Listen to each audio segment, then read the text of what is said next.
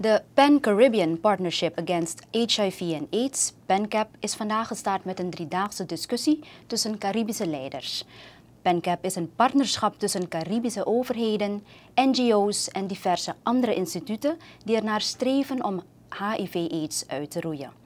Deze driedaagse consultatie wordt in Marriott gehouden.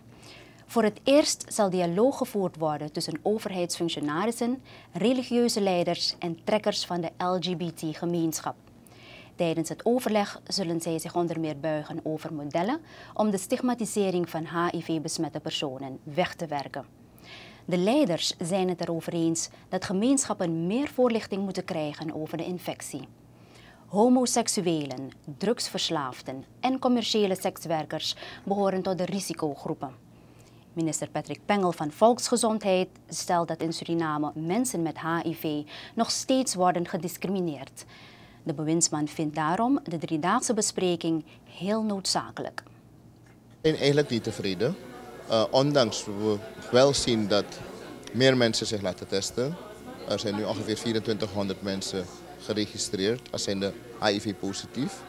Uh, weten we dat er ongeveer 40% van de samenleving hun status nog niet weet. Dus daar kunnen we absoluut niet tevreden over zijn.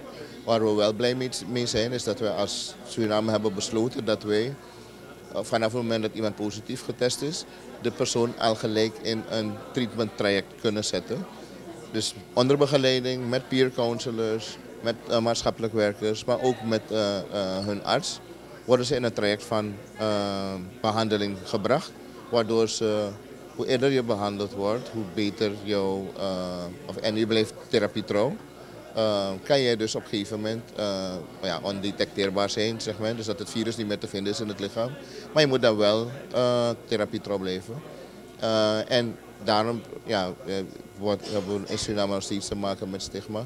Ja, dat is dus een van de redenen dat wij zeggen van, dat we nog niet tevreden zijn. Pengel is van mening dat de boodschap naar de mensen toe gebracht moet worden.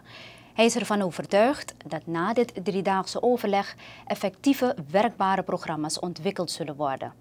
De minister heeft goede hoop dat de 90-90-90-doelen in de nabije toekomst gerealiseerd zullen worden. Dat is dus een doelstelling die we hebben, dat 90% van de samenleving haar status moet kennen. 90% van die mensen uh, moeten dus, uh, dus 90% van de positieve mensen moet beginnen met treatment. En 90% van deze mensen moet uh, therapie trouw blijven. Waardoor we dus eigenlijk een groot gedeelte van de populatie meekregen. En en als we die targets halen, dat we dan ook de targets halen om HIV succesvol te bestrijden.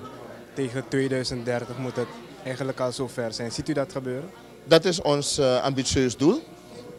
kijk, als we er wereldwijd voor gaan, uh, en als veel meer mensen hun status kennen, veel meer mensen op therapie komen, uh, dan is het zeker haalbaar. Minister Patrick Pengel van Volksgezondheid bij de start van de driedaagse bespreking van de PANCAP. De dialoog duurt tot en met vrijdag, waarna er een persconferentie gehouden zal worden.